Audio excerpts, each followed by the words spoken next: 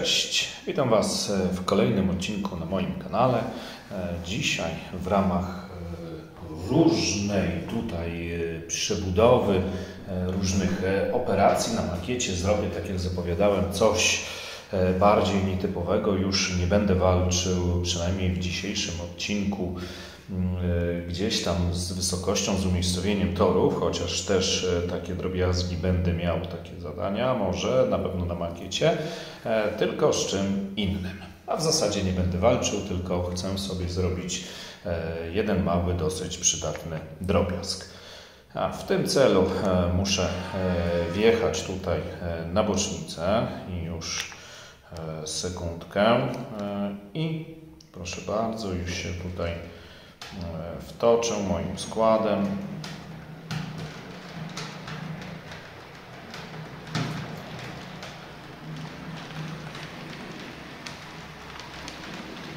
Szalenie istotne jest to, którym składem. O, i już w sumie wystarczy. Otóż chodzi mi o jedną zasadniczą rzecz. Chodzi mi o zrobienie sobie tutaj toru do programowania. Cóż to takiego jest tor do programowania? Jest to odseparowany odcinek toru, na którym można programować modele. Istotne, żeby był podłączony do centrali, nie do innej centrali, żeby nie biegać z modelami i istotne też, żeby był właśnie wyseparowany. Jedne centrale mają akurat funkcję programowania, osobne wyjścia na tor programowania i wtedy w zasadzie sterować to można niezależnie. Drugie na torach, przy drugich centralach, na przykład przy popularnym Z21, małym Z tej czarnej jest tak, że jest jeden jedno wyjście i nie ma osobnego toru programowania, po prostu na tym, na czym jeździmy, programujemy. Problem z tym wszystkim jest taki, że jeśli postawimy na makiecie przykładowo wiele modeli, to wtedy to wtedy każdy dostanie te same ustawienia. Czyli jeśli tak jak ja mam w tej chwili 5-6 pojazdów i gdybym chciał zmienić adres, to wszystkie dostaną jeden adres. Wszystko trzeba ściągać, zestawiać z torów i jest to no, czasami dosyć upierdliwe. Aby temu przeciwdziałać, właśnie programujemy w wyseparowanym miejscu i wtedy jest spokój. I teraz tak, jak chcę sobie wyseparować to miejsce i z mojego punktu widzenia jest to najbliżej centrali i najbardziej miejsce takie tutaj temu przystosowane, najbezpieczniejsze. Stąd gdzieś tu w tym miejscu odetnę sobie tor, odizoluję go i doprowadzę do niego zasilanie osobno, konfigurując je tak, żeby móc podłączyć to i do centrali takiej, które ma jedno wyjście. Wtedy po prostu będę robił tak, że zasilanie będzie jedynie na ten odcinek toru, a nie na pozostałą część makiety. I do centralki, która ma dwa osobne wyjścia, wtedy są dwa niezależne. Natomiast w tym drugim przypadku zależy mi też na tym, żeby nie, nie pozbywać się możliwości tutaj jazdy po tym torze, żeby nie było, że po prostu zjadę na ten tor i kaplica i, i coś tam nie działa. Stąd no, muszę ten odcinek toru i drugi zewnętrzny i całą, całość reszty makiety zrobić tak, żeby po prostu w różny sposób to wszystko podłączyć. Pozostaje jeszcze jeden, jeszcze jeden aspekt tutaj sprawy i to jest problem w zasadzie niektórych central, ale może nie central, tylko to jest bardziej no, problem rzeczowy. Otóż no, programować czasami musimy nie tylko lokomotywy, ale i inne akcesoria, które wpięte są mm, na makietę. E, pół biedy, jak budujemy makietę, wtedy no, do wszystkiego mamy fajny dostęp, to jest jedna sprawa. E, do, po, poza tym te akcesoria wprost, dekodery przeróżne nie muszą być gdzieś przymocowane na makiecie, je bezpośrednio podłączamy pod centralę, programujemy, ustawiamy co chcemy i nie ma problemu.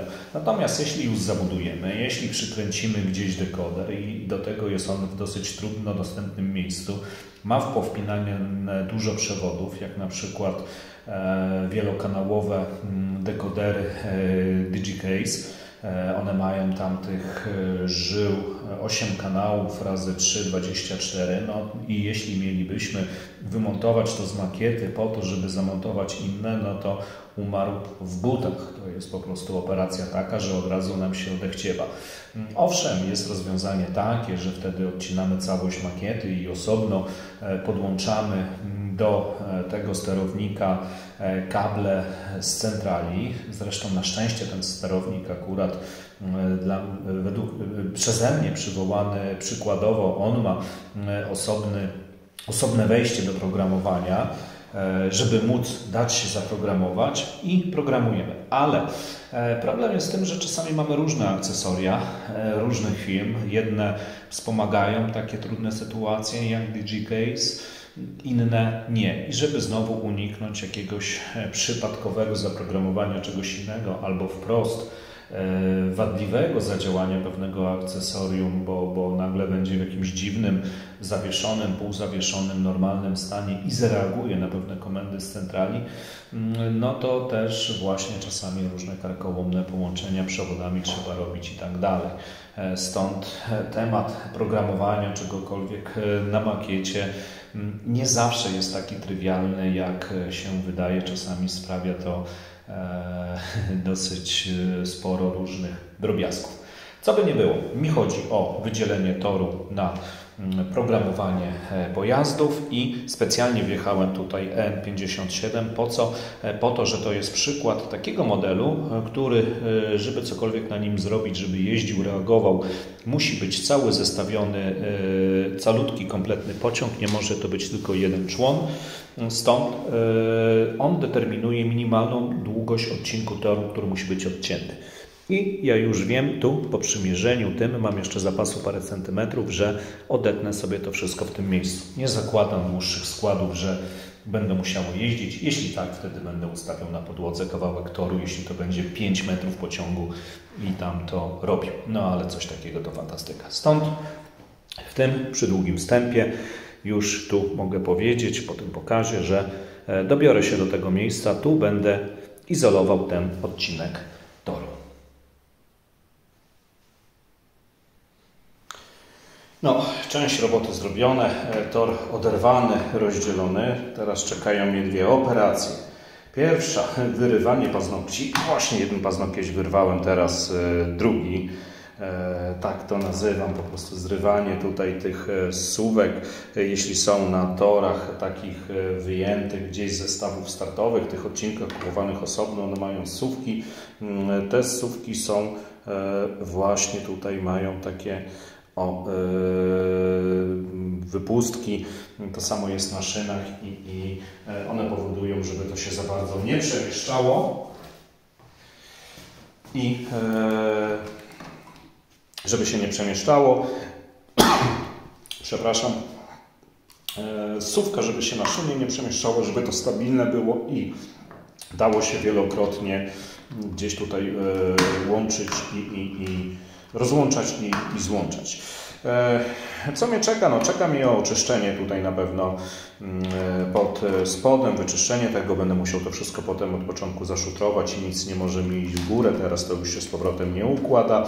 Mm, czeka mnie zaizolowanie zapewnienie, że na pewno nie ma połączenia i to na obu szynach, nie na jednej, bo na jednej powiedzmy będzie dobrze, na drugiej nie i diabli wiedzą, jak wtedy mm, sobie centrale z tego będą radzić. E, co w związku z tym? E, na pewno będę musiał obciąć kawałeczek szyny, żeby był ten odstęp, ale z wyczuciem.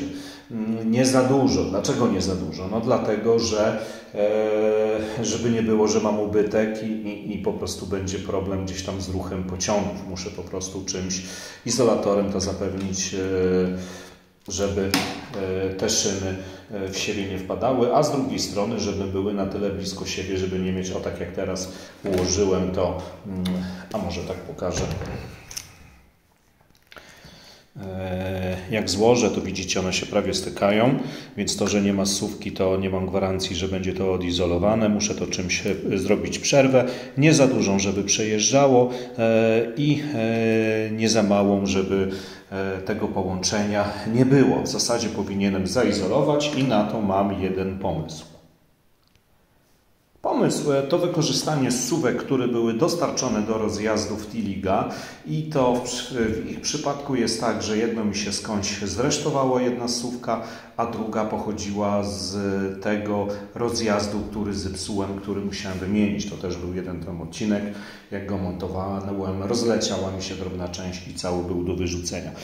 Tak wyglądają takie brązowe suwki. One są z plastikiem w środku, e, izolowane i po prostu będę musiał założyć je, przymierzyć. Mm, przymierzyć, e, czy to jest to, ale nie muszę tutaj przymierzać. E, to, jaką one zajmują szerokość, to ja już wiem, bo mm, e, to mogę zobaczyć na wmontowanym rozjeździe właśnie tym wąskotorowym Tiliga, stąd to już wiem. Mm, no ale zanim to zrobię, tego nie mam co mierzyć, zanim tu sprzątnę pod to, zanim to połączę i tak dalej, to muszę doprowadzić do tych szyn gdzieś zasilanie. I to znowu, to jest przerypana sprawa. Nienawidzę lutować do szyn.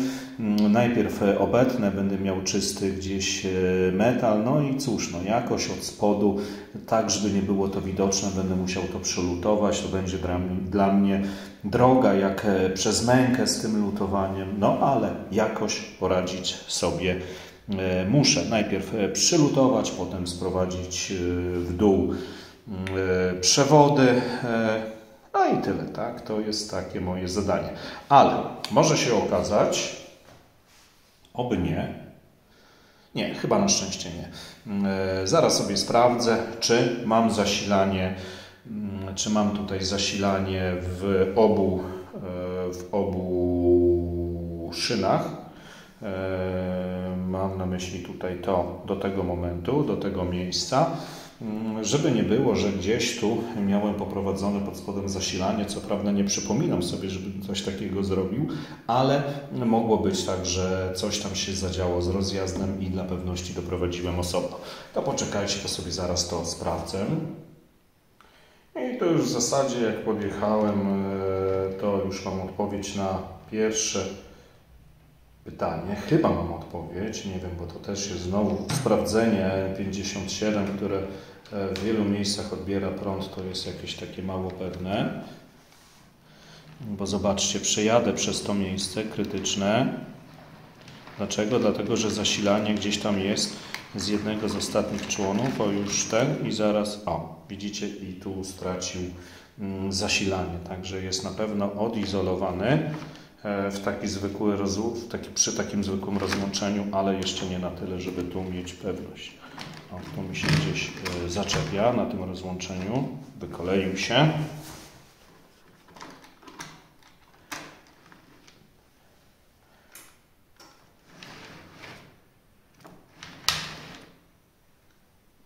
A co tu się dzieje teraz? Hmm, teraz się okazuje, że gdzie jest skąd to zasilanie pobieranie. Dobra, z tej strony. Na to już wyjadę.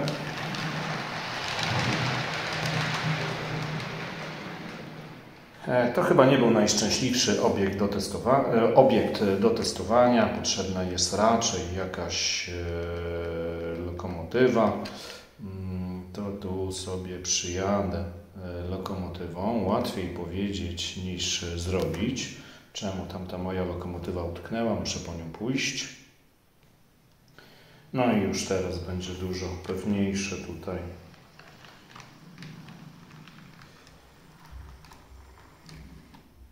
O, no i właśnie w tym momencie straciła e, zasilanie, także tu już mam gwarancję, że e, ten odcinek na pewno nie miał poprowadzonego osobnego zasilania, e, tak żeby zapewnić, że na pewno zasilanie tutaj jest w tym odcinku, czy żeby dochodziło w, w tę część bo, bo z jakichś powodów przez rozjazd tego zasilania by nie było. No dobra, pcham tą lokomotywę, ale poczekajcie, już no, nie ma tego zasilania kompletnie przez styk. O, i teraz złapało. Odjadę nią, żeby mi tu nie przeszkadzała. I zabieram się do tego, co no, będę miał z tym, tak jak powiedziałem, drogę przez mękę, czyli do przylutowania przewodów e, do tych szyn. A teraz e, muszę sobie wywiercić otwory i przeprowadzić kable, którymi e, od razu e, przylutuję je do torów. Tak mi się wydaje, że chyba prościej mi będzie lutować tutaj z zewnątrz i później przykryć to jakimś krzaczkiem czy czymś. Tutaj to z tej strony w ogóle nie będzie wyglądać, więc widać tego, więc gdzieś o tu powiedzmy w tym miejscu na zewnątrz torów to zrobię. I tak już e, szybciutko.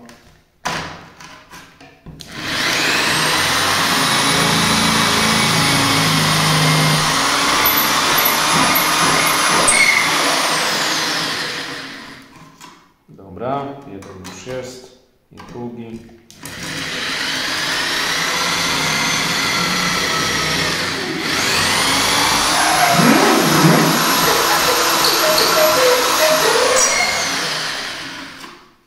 No i dobra.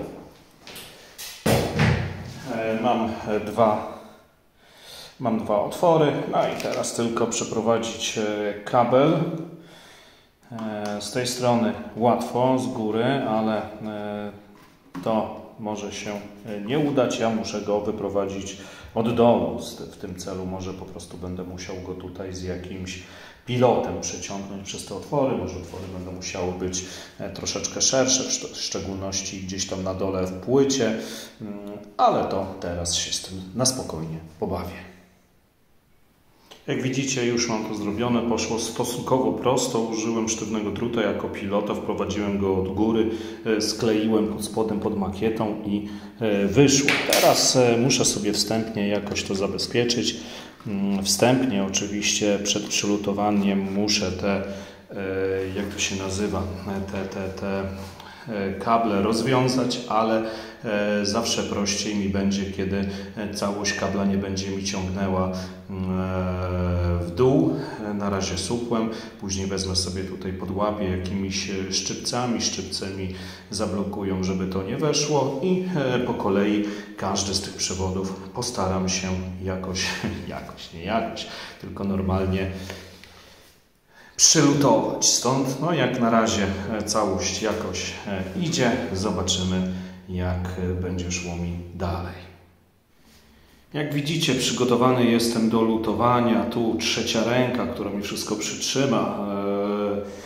E, e, Plux jest do oczyszczenia, e, spoiwo i tak dalej, wszystko fajnie. Natomiast samego procesu lutowania pokazywać Wam nie będę, no aż tyle. Mm, takiej dużej dozy samokrytyki nie mam, będę walczył tutaj zdecydowanie z brakiem własnych umiejętności. Mm, stąd no Zrobię to zdecydowanie poza sceną. No będę walczył, będę mm, walczył i, i tyle. Próbowałem polutować w jednym z poprzednich odcinków jakieś drobne przewody. E, przy rozjazdach teoretycznie dwa punkty styku. Poległem, stąd teraz specjalnie nie, nie kwapię się do tego, żeby prezentować tutaj na na filmie, jak moje umiejętności wyglądają. No, wstępnie wydaje się, że ok, ta strona poszła za pierwszym razem, ta za drugim. Po sprawdzeniu gdzieś tam e, szlak e, trafił. No, ale tak naprawdę to, na ile jest dobrze, to e, zobaczę po sprowadzeniu przewodu w dół, czy mi się tutaj ładnie uda go schować i czy nie wyrwę niechcący tegoż przewodu.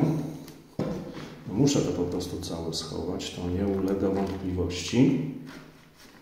Najpierw ten, no brzydko to wygląda, ale to nie szkodzi. To akurat sobie e, najłatwiej e, rozwiążemy ten e, problem. Z tym problemu nie ma, to mogę po prostu tu w ten sposób schować. O. I już. A no właśnie. I jak widzicie, to jest coś, co za czym nie przepadam. No już właśnie poniosłem porażkę. Mało tego, to teraz muszę wyciągnąć gdzieś mm, ten kabel, który mi tutaj utknął i robić to wszystko jeszcze raz. No dobra, zanim będę układał drugi, no to muszę od początku. Także to są takie zabawy, tego nie za bardzo lubię. Teraz muszę wyciągać jakoś ten kabel, on jest na szczęście tutaj raptem 3 mm niżej, ale zawsze to jest troszeczkę ambarasu. No i jest. Wstępnie to było w poprzedniej scenie, teraz e, drugi raz e, wstępnie, bo owszem, zadowolony jestem, że to zrobiłem, natomiast no, popełniłem e, podstawowy błąd, rzecz, o której zapomniałem. No wszystko fajnie, że mam przelutowane i się cieszę, tyle tylko, że zapomniałem tutaj obczyścić z tego nadmiaru żwiru pod spodem, od tego wyrywania już sporo mi się mm, popakowało i nie jestem w stanie równiutko ułożyć toru, na to nie ma najmniejszych szans. Stąd no, muszę się teraz zabrać za mm, usunięcie tego, e, odkurzenie. E, tyle tylko, że jak będę to robił, to jest duża szansa, że coś gdzieś się e, rozleci i nie będzie e, trzymało. Trudno. Najwyżej e, przylutuję to jeszcze raz, z tym problemu nie będzie. Także teraz powolutku zabieram się za oczyszczanie toru i próbę ułożenia, czy on będzie się chciał ułożyć. A i jeszcze jedno, muszę też mm, od razu przyciąć to, no bo po co mam układać? po co mam to wszystko robić, skoro znowu tutaj będę troszeczkę szarpał całością e, przy, e, w momencie, kiedy będę mm, obcinał ten kawałeczek e, szyn. Także gdzieś parę też rzeczy z tym lutowaniem już dwie próby były, jedna i druga, to też mi się oderwała, tu też podlutowałem. To, że to teraz widać, to się tym nie przejmuję, to wszystko zamaluję na brązowo. To wszystko zamaskuje, tego nie będzie widać. Grunt, żeby lód był trwały, żeby to porządnie trzymało i porządnie mi przewodziło prąd. No i tak, już połączone, trochę przeczyszczone, mogę to zacząć i spięte przede wszystkim tymi plastikowymi końcówkami.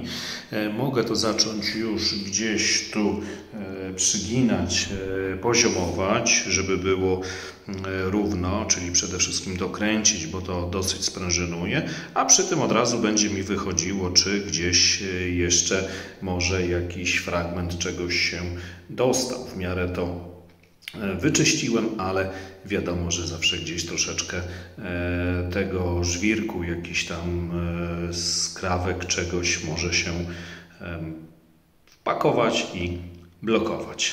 No ale to za moment. No, to już mam wypoziomowane i tu jest do przeprowadzenia jeden test. E, test e, tak naprawdę, czy to na ile to wszystko zadziała. Mm, e, przylutowane, tu jest odizolowane, spięte, ułożone tuż przed zasypaniem żwirem i zobaczmy jak to wszystko działa. Lokomotywa mm, y, przejechała mi zaledwie fragment. E, tu już jest siłą rozpędu, przejechała przez miejsce bez zasilania i jedyne to co mi zostało to dołożyć tu zasilanie, sprawdzić czy tam dobrze e, przylutowała. I jak widzieliście odjechała dalej, także wszystko jest e, w porządku. Zmienię kierunek, podepchnę ją bliżej i spokojnie puszczam, tylko muszę sobie naszykować pilot, bo gdzieś mi tam e, wyrwie pewnie. Mogę to podłączyć w zupełnie innym miejscu, na przykład gdzieś e, o tutaj. Dokładnie. Zwarcie. Podłączyłem to odwrotnie. I już jest. No i poszło. Także tutaj ten temat mam załatwiony. Mogę z jednej strony tu już to szutrować, ten element, mm, a z drugiej strony E, mogę e, skupić się na tematach elektrycznych, czyli ok, już mam odłączone, mogę e, zająć się budowaniem gdzieś miejsca do przełączania, zasilania toru tego dodatkowego. I już e, rozłożyłem shooter, to mam przygotowane do zalania klejem i żeby to sobie spokojnie do jutra wyschło. E, tam też i środkowy tor w paru miejscach e, lekko poderwałem, jakieś ubytki uzupełniłem. Jest okazja, skoro wszystko tu w tym mm, miejscu robię, to gdzieś tam coś optycznie przynajmniej poprawić, chociaż jeśli chodzi o mm, samą poprawę w temacie jazdy, to potrzeby nie było, to wszystko przelatywało jak należy ale że e, gdzieś tam coś mnie mm, drażniło swoim e, widokiem, to i też to od razu przypudrowałem. No i jest zalane, poprawione, gdzieś tam pozbierane jakieś różne e, kamyczki, które byłyby w niepożądanych miejscach. No i może to sobie do jutra schnąć. Mm, wyschnie, zwiążę i tak pewnie będę musiał poprawy, jakieś poprawki porobić, choćby po tych śrubach, które mi to teraz wszystko przytrzymują. Także przyjdzie jeszcze czas, żeby się poprawić, a póki co to niech to sobie spokojnie tutaj zasycha. E, sama ta nie wstrzymuje mnie za specjalnie i tak mam inne miejsca, w którym co nieco mógłbym zrobić, stąd mm, spokojnie będę sobie działał gdzie indziej, a tu niech schnie. Tutaj przy centrali będę chciał e, wmontować dwa włączniki. Teraz się tym zajmę. Zajmę włączniki gdzieś tam tu e, z boku. I e, do czego te włączniki? To już wytłumaczę. Przy okazji sam sobie to ustabilizuję. Musiałem się teraz przez parę minut zastanawiać, jak ja to wymyśliłem. Mm, I już opowiadam. Ten wyłącznik odpowiada za mm, tor o przykładowo ten tutaj za całą makietę, a ten odpowiada za dwupozycyjny, trzypozycyjny y, z dwoma różnymi. Ten, ten odpowiada za mm, y, ten odizolowany fragment. Na czym to wszystko będzie polegało? I teraz tak, tu oczywiście jasne. Teraz w pozycji wyłączonej, czyli zasilanie do głównego, głównej linii, do głównego Mm, toru jest e, wyłączone, e, a to e, mamy tak, wyłączone, włączony jeden kanał, na tamto zasilany, włączony drugi. Jak to fizycznie będzie działało z centralą? Już tłumaczę, jak to sobie wymyśliłem. Mm, przykładowo centrala, która ma, która ma tutaj osobne wyjście do programowania na, e, do tor do programowania, no to wtedy wiadomo, tu podłączamy e, w to miejsce wyjście na tor główny z tej centrali. E, tu podłączamy tak, na jedynkę, żebym wiedział no, tak samo o co chodzi, na jedynkę podłączę również tor główny i w ten sposób, jeśli będzie w takiej pozycji, to i na torze głównym, i na odizolowanym fragmencie będę miał e, dokładnie to samo. Natomiast na dwójkę, e, teraz wyłączę, na dwójkę e, podłączę sobie to wyjście toru do programowania. Więc jeśli będę chciał na tamtym torze, żeby było tylko do programowania, to przełączę w ten sposób. Ponieważ będzie odizolowane, to nie będzie problemu. Oczywiście dla bezpieczeństwa, żeby nie było, że coś tam gdzieś przejdzie, Y, jakieś napięcie i coś by mogło mi tu normalnie na torze zadziałać, to mogę też mieć wyłączone w momencie programowania. Jeśli chcę całkowicie odciąć bo nie wiem, bo na przykład będzie sobie stał tam jako tło e, do czegoś jakiś model mm, bez dekodera, który normalnie by bzyczał, to mogę odłączyć w ten sposób. Także mam takie mm, parę różnych funkcji. I teraz jakby to wyglądało w przypadku na przykład e, Z21, małe Z21, które nie ma wyjścia na programowanie, Bardzo prosto. Dokładnie tak samo, czyli tu podłączam to główne wyjście i tutaj tak naprawdę mogę to zdublować. E, to znaczy, mogę zdublować, ale nie muszę. Po prostu pod jedynkę tak samo sobie to podłączę. E, pod dwójkę wtedy nic e, nie ma. Ale pod dwójkę też mogę podłączyć i wtedy dokładnie to samo. I czy w takiej, czy w takiej pozycji to mam to samo, to jest wyłączone, czyli mam tą samą funkcję. A tu, czy tu, jeśli bym podłączył pod to, czy tu, jeśli podłączę dodatkowo pod to lub tylko pod to, będę miał programowanie, a ten główny tor będę mógł sobie wyłączyć, żeby uniknąć e, przypadkowego przeprogramowania. I tak bym to sobie zorganizował e, tymi dwoma przełącznikami. Mm, e, tymi dwoma przełącznikami załatwię sobie wszystko. I teraz moglibyście mi powiedzieć, napisać, a po co ci dwa przełączniki, skoro mógłbyś załatwić to jednym przełącznikiem tym i wpuszczać na tamten mm, tor po prostu rozłączać e, tak naprawdę raz jedno, raz drugi e, i zrobić po prostu odwrotnie, że e, jedynka to jest ten, wchodzi napięcie, jest tu, dwójka wchodzi tu.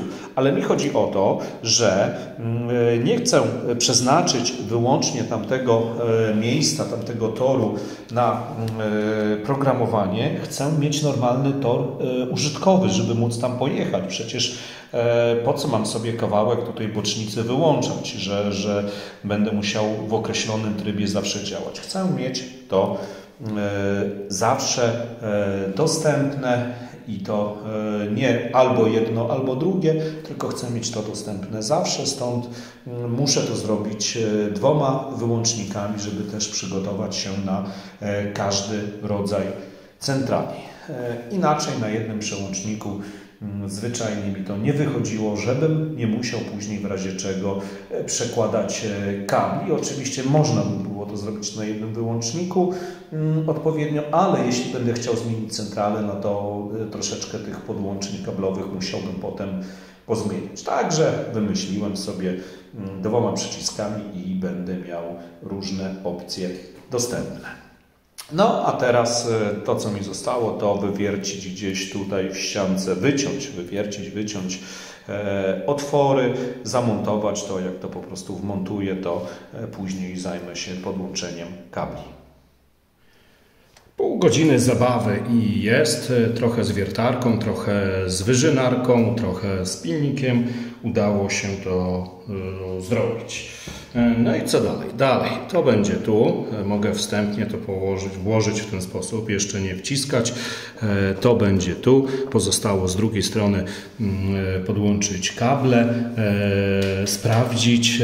No oczywiście z tym podłączeniem kabli, no to teraz będzie trzeba je podocinać, trochę polutować do, do tych żeńskich końcówek, jak one się tam nazywają, tak się tam e, nazywają i będę miał już to przygotowane i to uwaga w barwach PKP Cargo. Ha, a niech będzie. No dobrze, także to już e, pokazałem, nad tym się chwilę e, pobawiłem. Zacznę teraz przygotowywać kable i podłączać to z drugiej strony. W międzyczasie prac e, wyschło to, co miało wysnąć, e, zaszutrowane wczoraj. Wykręciłem e, śruby, którymi to utrzymywało stabilności i zasypałem żwirkiem te dziury, zalałem klejem i niech to sobie dalej spokojnie schnie. Z drugiej strony mam rozgrzewane tutaj kwestia połączeń, to wszystko jeszcze trwa. Na razie bałagan mam wielki e, na podłodze, ale jestem już całkiem blisko tutaj podłączenia mm, e, całości. Także to wszystko się dzieje i w kolejnej scenie może już Wam pokażę, jak to działa, jak tylko wszystko połączę. No, mam tutaj bardzo duże wyzwanie, żeby Wam to pokazać e, w jakiś sposób na jednej scenie, jak to mniej więcej wygląda. Wyzwanie jest e, natury mm, e, wprost technicznej, jak ustawić statyw, żeby to wszystko pokazać. No ale są oba przyciski widoczne. Widoczna też jest lokomotywa. Przycisk głównego zasilania makiety, no i tu wszystko jasne tu widać e, doskonale. Dotyczy to całej części, poza częścią odciętą, tamta rządzi się swoimi prawami. No ale dobra, e, to przejadę w tamtą część. W tym momencie e, zasilanie jest włączone na jedynkę, czyli na zwykłe zasilanie. W tamtej części dwójka to jest mm, ten obwód do programowania. Mm. No i najpierw po prostu wjadę tam z E, przy włączonym zwykłym tym, no jak widzicie normalnie jedzie, tak, to normalnie wszystko e, wygląda. Teraz e, stanę w tamtym miejscu, no i co? Jak wyłączę główne zasilanie, pogasły mi, tu widzicie tam w oddali za siódemką powinno być widać, zobaczę czy na filmie, tak, dosłownie w lewym górnym rogu widać to zasilanie od semaforów. Zgasły semafory, lokomotywa się świeci. Mm, tam zasilanie jest. I w tym momencie, e, jakbym chciał e, na przykład e, przejechać, no to jak wjadę na to miejsce, ona przez moment przeniosła przez obwód lokomotywy, przeszło zasilanie, więc się zaświeciły reflektory, no ale jak zjechała, minęła to miejsce, to zasilanie zniknęło i semafory się nie świecą. Włączę zasilanie, jedzie dalej. Dobra, zatrzymam się, wracam w tamto miejsce. E, i e, zatrzymam się tu, odwrócę. No i tak, wyłączam to zasilanie w tej części, tak jak wcześniej. No i tu, tu na zero mam całkowicie wyłączone zasilanie, jest wyłączone zasilanie w obu częściach. E, natomiast e, w tej części mogę włączyć, czyli tam e, w tym trybie mogę postawić sobie model analogowy i może mi robić jako model statyczny, może sobie stać. Oczywiście gdzieś docelowo, gdybym się mocno uparł, to mógłbym podobnym mechanizmem, czy nawet w tamten odcinek włączyć sobie gdzieś, podłączyć sterowanie w ogóle, sterowanie mm, analogowe. Spokojnie mógłbym pójść z tamtej strony też dwa przyciski do włączenia sterowania i do przełączania źródła. Tak samo gdzieś tam e, z tamtej strony e, na makiecie czy tutaj w przyciskach mógłbym zrobić, ale już nie chcę aż tak dużo klawiszologii e, bawić się, bo, bo to zwyczajnie przerost formy nad treścią, żeby na półtora metra ekstra zasilanie analogowe zrobić, ale możliwe jest. Teraz tryb programowania. No tutaj specjalnie pokazać nie mam tego jak, ale e, przy takim przełączeniu e, będę mógł programować cokolwiek tam stoi.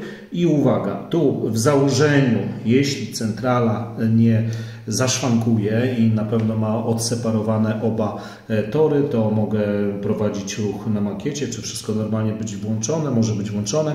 Natomiast na wszelki wypadek zawsze lepiej to wyłączyć, e, ten obwód niech on będzie wyłączony z zasilania. Oczywiście wyłączenie całego zasilania na całej makiecie w każdej części w tym połączeniu, ale domyślnie będzie to tak, w ten sposób włączone i e, mam ten tor tak jak wcześniej e, w takiej postaci. No i e, na tym polegała moja zmiana. Elektrycznie tak to wygląda, to chciałem osiągnąć, no a gdzieś jeszcze tam będę musiał dokończyć sprawę tutaj zamaskowania na tamtym torze e, tego przełączenia i to już będzie końcówka tego filmu. To będę Wam mm, e, pokazywał jeszcze e, skończenie tamtego miejsca. No ale to już w kolejnej scenie i zdecydowanie w późniejszym czasie, bo teraz to wszystko jeszcze jest mokre. Mm, dopiero co tam ubytki uzupełniałem i to wszystko sobie schnie. Śmierdzi mi tu świeżą farbą. Muszę się za moment y, wynosić z tego pomieszczenia, także tylko króciutko y, w dwie minuty to pokażę. Farba jeszcze mokra, zasycha. Ona gdzieś tam w pół godziny zaschnie, y, raczej dłużej. Potrwa zanim wywietrzy się pomieszczenie, z godzinę zanim, albo i ze dwie, zanim zginie ten zapach. Ja muszę się po prostu wynieść i poczekać z wszelkimi innymi e, pracami, czyli gdzieś tam z poprawieniem jakimś zieleni. Generalnie mm, temat jest już e, prawie na ukończeniu. Zbliżam się powolutku także i z tym miejscem do finału.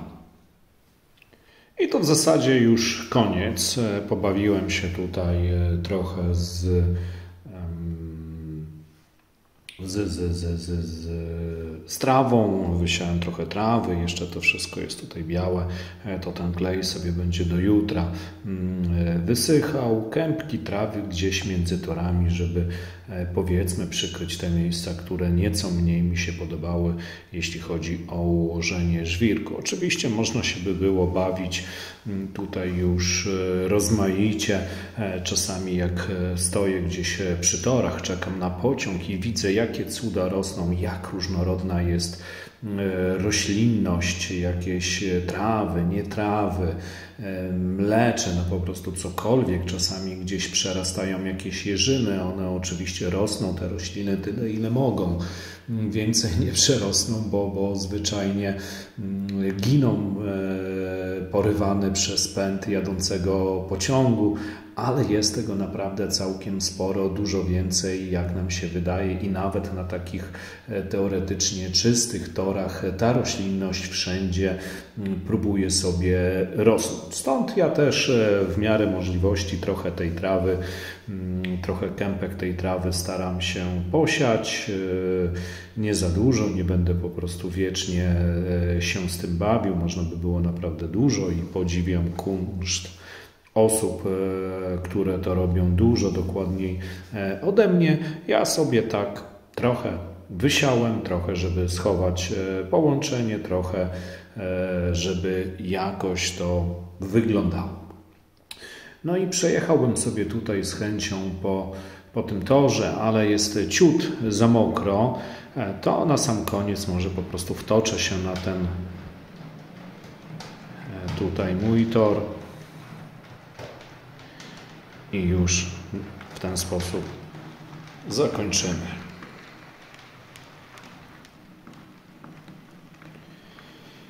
Także e, tutaj e, w tym odcinku, e, owszem, też sobie podniosłem w jednym miejscu tor, ale on mi nie sprawiał problemów. To tak optycznie, właśnie jak spod tego kąta, jak widzicie, jak patrzyłem, to widziałem, że gdzieś tam było ugięcie, więc już dla spokoju sumienia i E, dlatego, żeby sobie móc e, nakręcić nawet takie sceny bez e, strachania się mm, o to, jak to wygląda na filmie. Trochę podniosłem ten tor, mówię o tym torze środkowym, a tutaj tor oderwałem po to, żeby go z powrotem przykleić, a de facto, żeby odizolować i żeby wmontować coś, co pozwoli mi później korzystać z zalety toru do programowania bez konieczności e, posiadania tego toru gdzieś e, z boku, bo przyznam się szczerze, że ok, teraz mogę programować na mojej malutkiej dioramie, ale tam takie dłuższe rzeczy jak tutaj ten EZT się po pierwsze nie zmieszczą, E, poza tym tam mam podpiętą starą centralkę Pico Digi 1 e, i już na niejednym odcinku unboxingu się przekonałem o słabości mm, tego jakże starego już produktu Pico. E, to się po prostu nie nadaje nawet do wyciągnięcia funkcji mm, fabrycznych dekodera, nie mówiąc o tym, żeby cokolwiek programować, cokolwiek robić. No i teraz tak, podłączałem czasem kawałek torów, tutaj osobno układałem go, tory Trixa, ale to było mocno mm, kłopotliwe, zwyczajnie nie chciało mi się tego robić. Mam jeszcze jedną opcję na programowanie i korzystam z niej czasem będę korzystał, jednak takiego programowania wprost na makiecie, kiedy chciałbym coś zmienić podczas filmu, podczas zabawy. Bardzo rzadko to czynię, bo nie lubię się w tym grzebać, ale wtedy, kiedy będę potrzebował, to już tą możliwość mam i to możliwość, przepraszam, bezpieczną, choćby e, standardowe zachowanie, które jest, to jak w chwili obecnej jest ileś modeli na makiecie I to jest częsta przypadłość, że ok, ustawiłem jeden model, ustawiłem drugi model, mm, ruszam moim pociągiem i nagle okazuje się, że rusza mój pociąg, ale też i inna lokomotywa, która stoi, stoi na torach, bo e, pomimo założenia, że numeruje od 1 do 99 lokomotywy, to e, pewne numery zwyczajnie się powtarzają i, i ruszają mi dwie lokomotywy. No wtedy muszę jedną gdzieś e, przestawić, przeprogramować na inny adres, na adres tymczasowy albo z czym innym się e, kojarzący i, i, i wtedy dalej mogę już sobie jeździć, mogę nagrywać. Tylko, że problem zawsze jest taki, że trzeba wszystko zestawiać, i jest to zwyczajnie kłopotliwe i zawsze się zastanawiam, czy o czymś nie zapomniałem albo jaki może mieć to wpływ na inne akcesoria cyfrowe podłączone do toru. Stąd tor do programowania może jeszcze w moim przypadku nie był konieczny, e, to jednak zdecydowanie jest to chyba e, właściwy kierunek, który na makietach no, powinniśmy mieć, powinniśmy stosować. Tak mi się wydaje, nie jest to mój wymysł. E, tu mm, od e, znajomego mi poradził, sam sobie zrobił, żeby po prostu coś takiego mieć, bo to się przydaje. I tak mi się wydaje, że mi też będzie się przydawał. No dobrze, to tyle Wam chciałem pokazać w tym odcinku. To nie koniec serii.